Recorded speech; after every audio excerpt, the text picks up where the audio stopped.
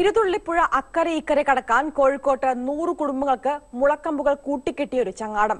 വെള്ളപ്പൊക്കം പൊയിലങ്ങാടിയിലെ തൂക്കുപാലം കൊണ്ടുപോയതോടെയാണ് ഇവർ ജീവൻ കയ്യിലെടുത്ത് ചങ്ങാടം തുഴയുന്നത് യാത്ര ദുരിതം ഏറിയതോടെ നേരത്തെ ഇവിടെ നിന്ന് വീട് ഒഴിഞ്ഞുപോയവരും നിരവധിയാണ്.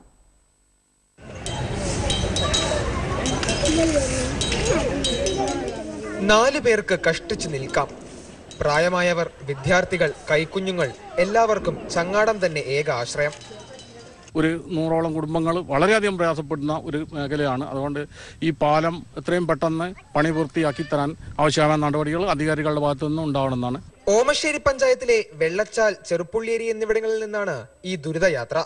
അക്കര ഉള്ള കുട്ടി- ആൾക്കാർക്ക് ആസ്പത്രിയിൽ പോകാൻ രാത്രി കാലങ്ങളിലൊക്കെ ആസ്പത്രി ആസ്പത്രിയിൽ പോകാൻ വളരെ ബുദ്ധിമുട്ടാകുന്നുണ്ട്. ഒന്ന് രണ്ട് തവണ ചങ്ങാടം പുഴയിലേക്ക് മറിഞ്ഞിരുന്നു. ഭാഗ്യവശാൽ ആളപായമൊന്നും ഉണ്ടായില്ല. പരിഭവം പറഞ്ഞു മടുത്തു. അങ്ങനെ എല്ലാം വിധിക്ക് വിട്ട് ജീവിതത്തിന്റെ മറുകരയിലേക്ക് എന്നും ചങ്ങാടമിറക്കുകയാണിവർ അക്കരയെത്താൻ ഏക മാർഗമായിരുന്ന തൂക്കുപാലം പ്രളയത്തിൽ നശിച്ചതോടെ നൂറോളം പേരാണ് ശ്വാസമടക്കി പിടിച്ച് ഇരുതുള്ളിപ്പുഴ കടക്കുന്നത്. വികാസ് സുനിൽ മനോരമ ന്യൂസ് കോഴിക്കോട്.